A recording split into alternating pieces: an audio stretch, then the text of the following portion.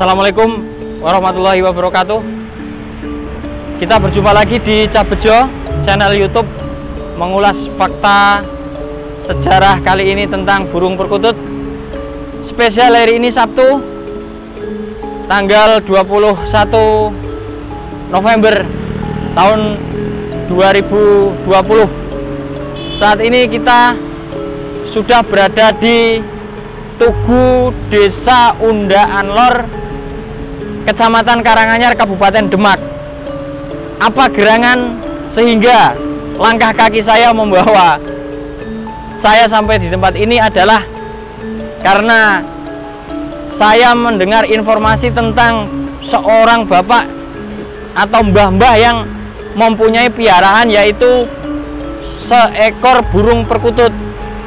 Tentunya burung perkutut ini tidak burung perkutut yang sembarangan karena burung perkutut ini pernah hendak ditukar dengan sebuah mobil seharga 150 juta tetapi tidak diberikan.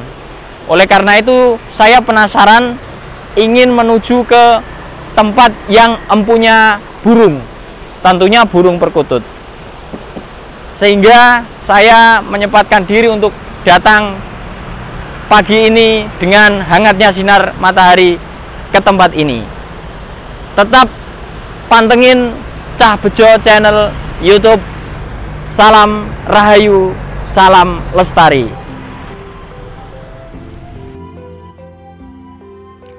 Untuk kesekian kalinya, kedatanganku disambut oleh lambaian dedaunan hijau, hamparan bunga-bunga nan cantik sungguh eksotis dan mempesona. Di tempat ini jugalah maksud hatiku untuk bertemu dengan seorang lelaki tua yang bernama Mbah Kayin. Lelaki yang sudah tak muda ini tentu bukanlah orang sembarangan. Karismanya membuat hatiku terketuk untuk mencari ilmu dari beliau. Assalamualaikum warahmatullahi wabarakatuh. Waalaikumsalam. Mbah Kayen niki nepangaken kula pun bejo, Mbah. Bejo. Nggih, saking Kudus badhe tanglet-tanglet babagan perkawis peksi ingkang jenengan kagungan. Nggih. Nggih, saderengipun nggih nyuwun ngapunten leres jenengan asmanipun Mbah Kayen. Mbah Kayen dalemipun ngemplek nggih. Ngemplek. Ngemplek wetan mriki. Ngaten Mbah. Kula mireng-mireng jenengan niku sakjroning kula tanglet nggih. Nyuwun sewu sakniki ketinggal nggih. Yuswanipun sampun sepuh nggih. Nggih. Sak wulung dosa pun wonten Mbah. Pun punjul. Langkung wulung dosa nggih. Ngaten Mbah. Berarti jenengan iki kagungan peksi perkutut tok napa wonten macem-macem Mbah? Ya perkutut rasan sing aku sing anak sing kali ingon-ingon ayam karo tekuku. Tekuku wonten? Tekuku ana puter. Berarti ingkang kathah perkutut. Perkutute. Wonten pinten Mbah perkutute kinten-kinten? Pitu. Kawit pun pinten tahun niku? Nah, mulai pertama luru nganu manuk ya tahun pitung puluh. Tahun sewu sangang atus pitung doso. Eh. Nggih. Niku mulai. mulai. Ngantos sak niki tasik wonten perkutute sing kawit pisanan niku, Mbah? Ya sing umur pisanan kuwi iso kae. Beda tuku kok nganu jadi bulan iku piro beng telung ewu ngetolong atus regini pun tumbas berarti mbak berarti sedaya niku jenengan tumbas buat wonten sing mikat nopo orang sing mikat ya tuku sing anak-anak iku loro kendok Ning eh wonten sing kawit ngendok piye jenengan Rumati. Rumati piyambak. Eh, Lah berarti sing sakniki niki sing jenengan kagungan kan pitu. Niku sing umure paling tua niku sing pinten tahun, Mbah? Pun sing pitung tahun niku sing paling tua. tua. Pitu sing jenengan rumati Sing loro. eh sing paling tua niku kalih. Niku sing jenengan rumati lanang kabeh, Mbah. Lanang. Wedoke sing nganu ya di ternak kuwi. Eh, sing ten ternak. Ternak. Pun nate ngendok. Gendok Nggih sing pun netes. netes pindho. Sing siji netes siji digawa wong ngloram kuwi sapa kuwi kawin nduk ngloram. Ginung. 1970 dosa niku jenengan tasik bujang napa sampun gadah garwa niku? Ya jeh bidang.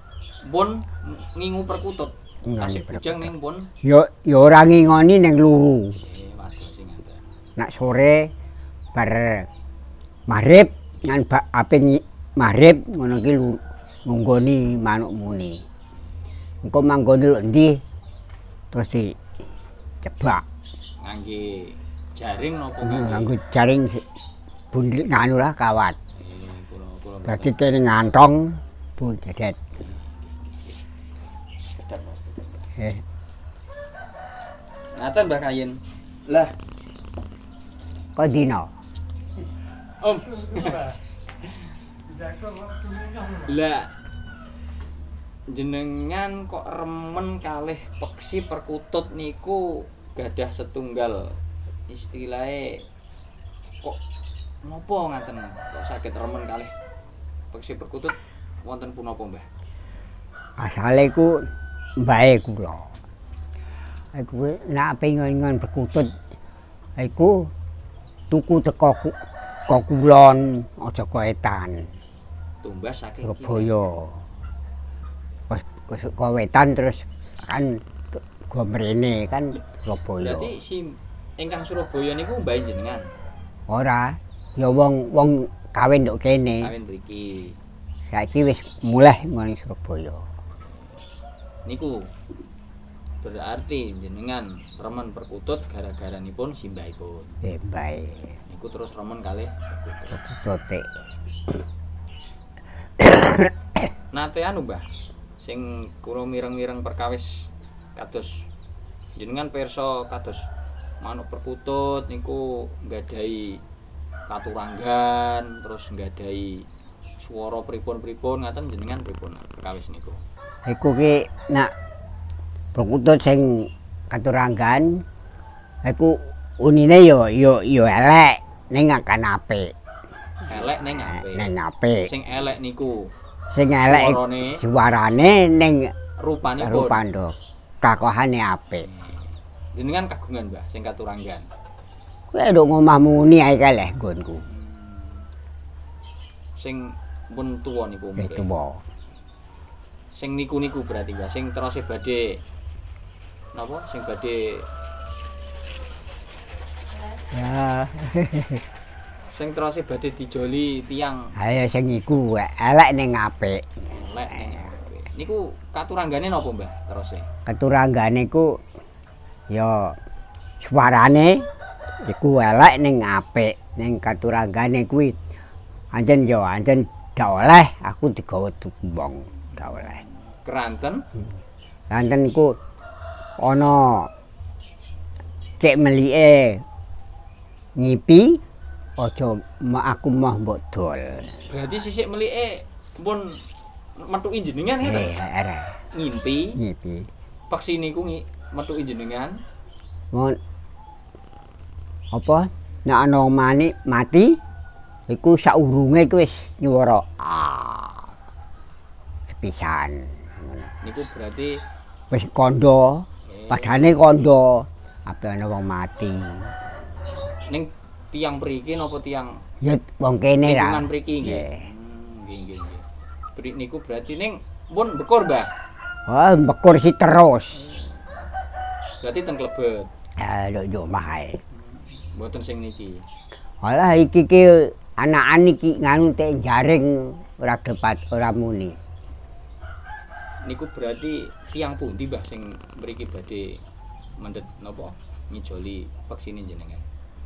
Jakarta. Iku ponak aku dhewe. Jenengan yo mobil yo mboten pati butuh ya Mbah. Ora buta. Luwih langkung seneng peksine ya Mbah. Nggih. Niku Seneng. ber- berarti sing pinten tahun Mbah niku sing katuranggan sing niku. Iku ki pira? 6 tahun nih, Pak 6 tahun. Pitung tahun eh wolung ya. Limang tahun kuwi Niku angsal tumbas napa? tuku. Pas tumbas niku jenengan pripun carane kok saged angsal ing kados niku? Napa mboten sengaja napa pun yo wis jenengan? wis denger nak iki manuk teko lu adoh kudu aku sing nganu ngrumati. Niku angsal ten pundi, Mbah? Kok Surabaya. Eh sing wau niku berarti. Nggih nggih nggih. nggih. Kae muni ae kae. Nggih sing niku niku. Kan elek suarane. Ning ya nak menurut kula nggih rada Yo ngono kuwi. keteko kok Mbah, saya Mbah. Ning Delok irone saye, ayo. Mangke riyen kula tak tanglet-tanglet riyen, mangke ampun kula tak ningali. Nek ana wong yo meneng Lah mabur ngono aku. nggih ancen kados niku kadang menapa malah kula kan tiyang nembe degi Ora roh wong sing tanggane mara ngene terus meneng gak meneng dak muni yo. Ngaten Mbah niki berarti kan wau kula mireng menawi nggadahi peksinipun jenengan nggadahi setunggal katuranggan ingkang benten kalih katuranggan sanes. Kula nembe napa mireng. Nak menuruti Mbah Kayen menika sejatosipun katuranggan niku napa Mbah janjane? Katuranggan perkutut niku dos pundi nak menurut jenengan? Katuranggane berkutut kuwi apa? Gulu panggel ora cucuk satu cil cilik cekak. Niku sing ngene jenengan niku. Heeh. Dipanggel. Ning jenengan ngraosaken perkutut niku pun saged nganu nggih, tepung rasa kalih jenengan nggih. Iya ora. Jenengan ngraosaken wau menawi terose ngabarake menawi badhe wonten ingkang kapundhut peksinipun negel ngaten. Gel. Wah nuju apa ana wong apa ngono ya. Kados paring Namat muni. Kan. Ping pindho, napa? dalu napa bengi. eh, lingsir nggih pun badhe tengah wengi nggih. Nah, tengah wengi. Ku kan muni apa ana apa. Ngono ya. Apa ana apa tak kok muni meneng. Tak muni nah. Matur suwun, Nak. Mbah. Nak negel Nggih. Muni terus tak odak-odak aja muni terus ya. Ning nggih urun meneng meneng. Nggih pun manut jenengan niku, Mbah. Lah niki ingkang wonten kandang mriku niku Kaya manuke. ternak napa mboten niku? Ternak kaene udah gelem ngendok Ning nggih jodoh, jodoh. ning mboten purun. Ora gelem. Nggih. Nggih. Berarti kan jenengan istilahnya mboten nembe mawon remen perkutut pun dangu.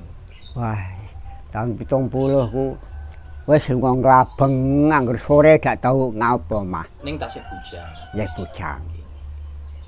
Ya sakniki garwa tasih Wah, wis tinggal suwe pun kok. kapundhut malah. Eh, Pun pinten taun? wong wis pendak pisan re. Oh, mendak pisan. Berarti nggih pun kalih tahunan kita. Eh, kali tahun. Nggih, Mbah Kayen kula kula nggih remen perkutut, Mbah.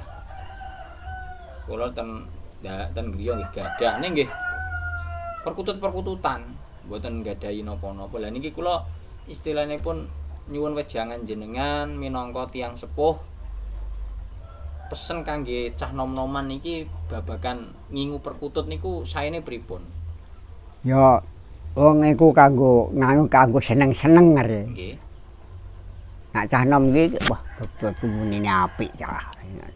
Iki kanggo seneng-seneng. Padha kaya dolan ape dolan ngono kuwi. Lah kersane kersane nggadahi istilahipun peksi perkutut ingkang istilah kados jenengan saged ngraosaken niku napa kedah nglampahi napa-napa ngaten napa mboten? Walah angel lah ngono kuwi, angel. Ingkang gampil mboten Mbah? Nah sing gampang ki wangger nduk dhuwur turu Nggih. utawa nganu engko kan ana apa ipene sing apik. Berarti wayah tilem Heeh, turu bengi. peksinipun Yo engko madhepe reng endi? Menak mlangkreng manuk iku arang sing nduk dhuwur. Nduk ngisor madhep kulon. Niku sing sae. Berarti pas tilemipun manuk mboten mangkring Ora mlangkreng nak ngandhap kandang. kandang. Madepe Madepe nak mat kulon, nak mat nanu idul berarti niku sing sae. sing apik. Lah, maksudnya kula kulone niki lho Mbah, kersane manuke niku nggih manut, kersane manuke niku mboten giras, kados mboten klabak-klabak ngaten niku jenengan Lah angel lah. mboten niku pinten taun Mbah saged istilah manuk niku purun Angger cedak karo wong sesuk tutut apik. berarti dicaketaken mawon nggih. Cedakno. Kaya ngene iki kan cedak ana wong liwat-liwat kan roh. Lah, kados pakane biasa Mbah. Biasa pakane. Mboten jenengan pakani jamu-jamu napa mboten? Ya nama yo kencur, nama jahe. Dilolok.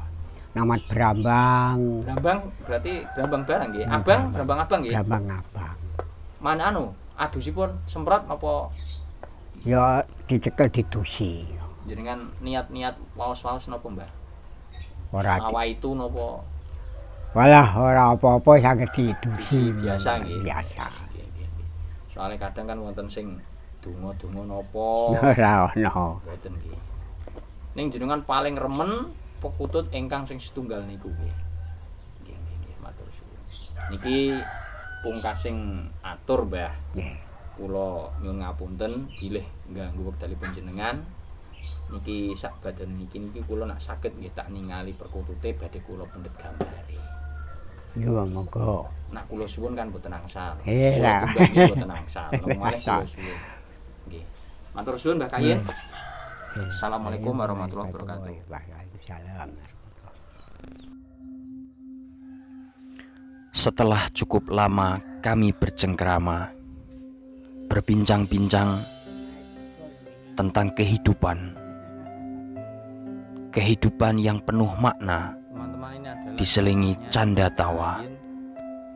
Aku diajak untuk melihat pusaka yang dimiliki oleh Mbah Kayin berupa peksi aji atau burung perkutut yang selama ini beliau banggakan, yang selama ini beliau rawat sejak kecil hingga saat ini. Inilah burung pusaka peliharaan Mbah iki. yang selama ini beliau percaya bahwa burung ini mempunyai kelebihan, baik itu dari segi spiritual maupun dari segi keindahan suaranya. Burung-burung perkutut yang dimiliki oleh Mbah Kayin telah ia rawat sejak kecil hingga saat ini.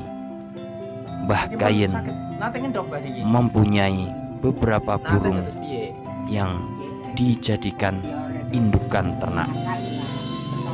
Dari beberapa burung perkutut itu, ada yang bertelur hingga menetas, kemudian dirawat dengan penuh kasih sayang. Sebagian besar apa yang kami perbincangkan sebenarnya adalah bukan tentang hal-hal di luar nalar atau tahayul, tetapi cenderung bersifat untuk menghargai alam sebagai anugerah dari ilahi Robbi. Wassalam.